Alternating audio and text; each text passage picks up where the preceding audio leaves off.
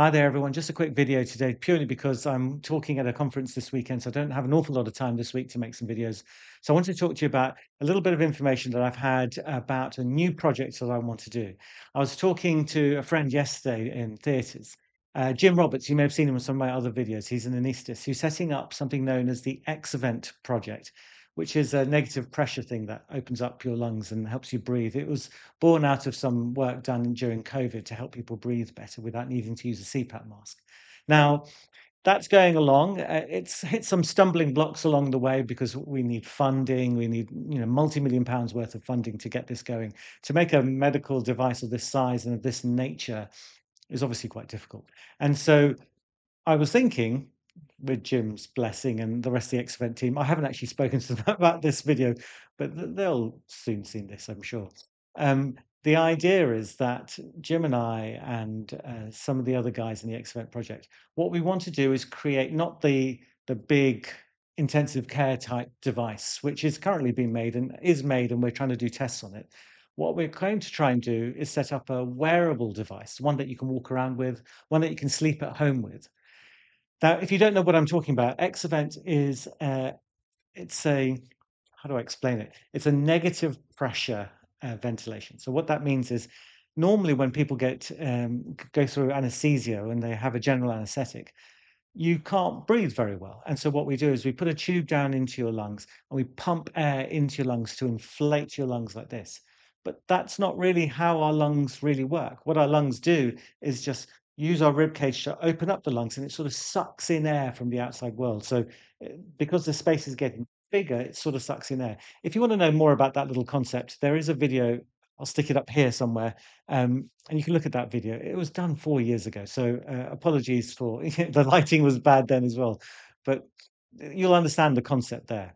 Now, the idea is that uh, for the big Exovent project, we're going to get people in uh, so they don't have to be in intensive care, but they're not well enough to go onto the ward. So this is like a step down thing. And there's lots of things it could be useful for pneumonias and really bad infections and things like that.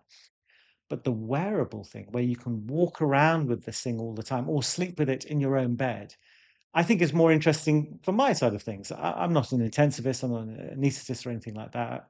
But what I am interested in is people with sleeping problems and and problems breathing at night. Now, it is slightly useful for people with obstructive sleep apnea, but more importantly, it will really, really help people with central sleep apnea. So, central sleep apnea is not when there's a blockage in the back of your throat, it's just your brain is not telling your lungs to take a breath, as it were.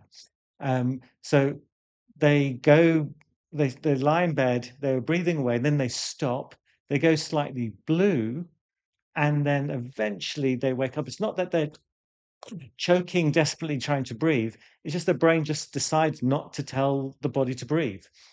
And that's very difficult to treat. Again, most people get CPAP and they pump the air um, into their lungs to try and inflate the lungs so that you don't get into these situations. But it's hard to get that right because pumping more air into lungs naturally makes you have little apneic attacks anyway, because you've got too much oxygen. But in central sleep apnea, it can stop and start during the night. So it is difficult. In this device, if it's quite small, I'm not sure exactly how big it is because we're about to make it. I'll tell you about that in a minute.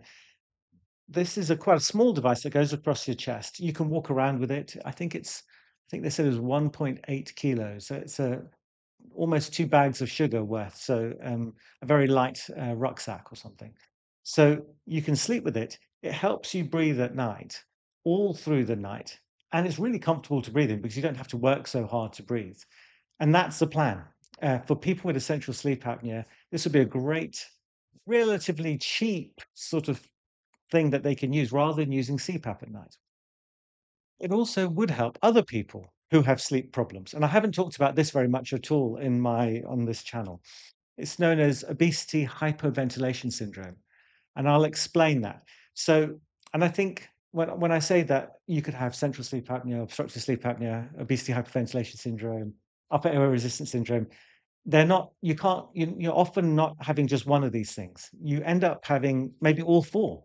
Uh, so it's not. It's not like oh, you've got um, pneumonia or you've got lung cancer or something like that. It's not quite as black and um, black and white like that. You can have all four at the same time. But obesity hyperventilation syndrome is when you've got so large, so you're obese basically, that there's so much weight sitting on your chest. So when you're lying down, it's really hard when you're sleeping and resting and not putting so much effort into breathing for you to breathe enough to push this weight off your chest so you can take a deep enough breath. And so generally the carbon dioxide levels go up in your body. Uh, and eh, that that's not great for your breathing. Also, with time, you can get to the point where you're not getting enough oxygen in, in either. So the same sort of thing that happens with obstructive sleep apnea. People with obesity hyperventilation syndrome have the same problems that people have with obstructive sleep, have the same symptoms and things like that. The same consequences as well with the blood pressure, heart, heart attacks, strokes, and things like that, depression. So all of these things can happen.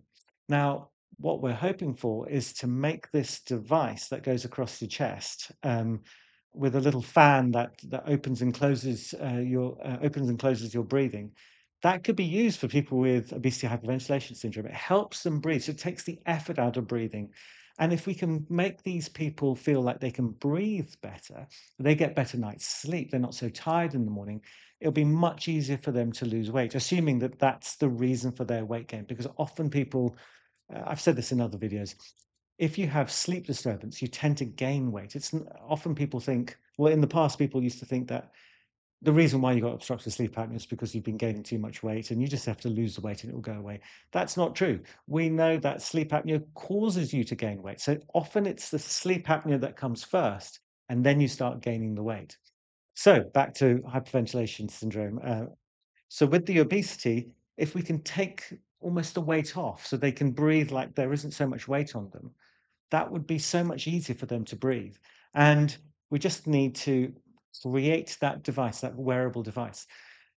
There are other people which are not related to sleep, which I don't I'm not obviously that as as not as interested in as as some of the other people, but they're really important conditions. So, for example, someone may have had a neck injury and their lungs don't work properly. The the phrenic nerve goes down on each side and powers the diaphragm, the the sort of the baffle that sort of keeps the lungs moving.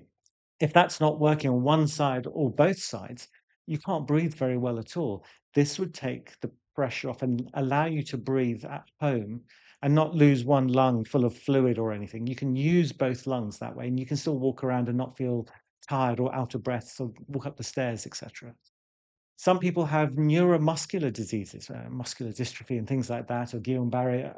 Not going to go through all those diseases, but there are diseases where you can't use your muscles so well, and you get tired very quickly. And because you get tired or you, the muscles aren't working as well as they used to, breathing becomes very difficult. If you could help these people with breathing problems to expand their lungs much easier, they might be able to get out of the house for the first time in years, or or go for a walk in the park, which they may not have done for years and years because they need an oxygen canister with them, or they get so tired because they can't get out the house. Anyway, so this wearable Exovent, I think we're going to change the name uh, for the wearable version, but you can just walk around with this. I haven't got a picture to show you yet because this is a, I just decided to do this video before, before I started today. Um, but I will show you soon. And if you join up for my newsletter, I think uh, there'll be, uh, there's a link in the video description below. If you're interested in trying out one of these devices, uh, let me know because what I've thought is that I get little donations on this YouTube channel, and I get obviously money from the advertising, the really annoying ads that you see before and after these um, these videos. And I've saved all that up, and I can put that money into making these devices. I don't have an awful lot of money, but if I could make some devices and give them away to people who really need them, uh, and as long as we get a bit of approval from people and get patients uh, who definitely have a problem then I could give this away to people and they could try it, and if they can get out to the park, then great. I can I can spend some of this money, which is meant to be for research, but a bit of charity doesn't mind. I don't mind giving it to charity. And if it means that these people do really well, I can A, make a product that can be used all around the world because it's not hugely expensive and you can make it yourself. A friend of uh, the team's made one of these devices with the sort of the spec that we talked about in an afternoon in his garage with a wetsuit and all sorts of other stuff. So we're going to try and make it a bit like that. We're going to make some devices, give them away to people who really, really need it. So if you're interested in being one of those people who wants one of these free devices, uh, and if you're in England, I think um, maybe we can give it around the world. I'm not sure. Uh, well, if you're interested, we're going to try and make this. Uh, the the plan is that uh, eventually, because we're a charity, the Exovent charity, we're going to try and give these away. So the make it open source. So perhaps people in the third world can put it together themselves with sort of standard stuff you can buy in, say, any third world sort of uh, supermarket. You know, the one we made, well, this chap made in the garage was made out of wood and things like that. Obviously, at 1.8 kilos, that's probably why it's so made out of wood. Um, but we want to make it out of you know some polycarbonate alloy or you know fiberglass or something like that. It was much much lighter, but making it as simple as possible so people can I can just make it and give it away to people and just to see if it works. And it'll be like a it's it's like a thing that goes across your chest just about here or just just between your ribs and your abdomen just there. And the idea is that it sits there all through the day, all night. It doesn't use an awful lot of power because it just has a fan running that pumps air in and out.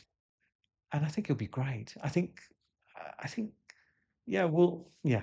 You'll see in this video, uh, in the videos that I'll make about it, and, uh, hopefully the Exovent team won't be too upset that I made this video without consulting them. But I wanna make one of these things, and I want to make as many as I can, uh, as much as the the the I think they're called super thanks or whatever they're called. Um, I could use that money to, uh, make some of these devices. I'll speak to Jim, and I spoke to him yesterday about this, and he seems keen, and, uh, David Howard and all the other people in the team, hopefully they'll be up for this. Uh, I'm really excited. So do look at the Exovent proper thing, which is, you know, a proper medical device where um, intensive care type levels. And we've made things in, I think, Pakistan, in in Bangladesh, all sorts of places have made that device around the world, and they're doing tests on it. I think uh, big companies are getting involved, and it's really exciting. But I want something more for the for the normal person like sleep problems and things. Look, I'm rambling now. Look, I, uh, I should really script these videos. Do take care. Thank you very much for watching. Bye bye.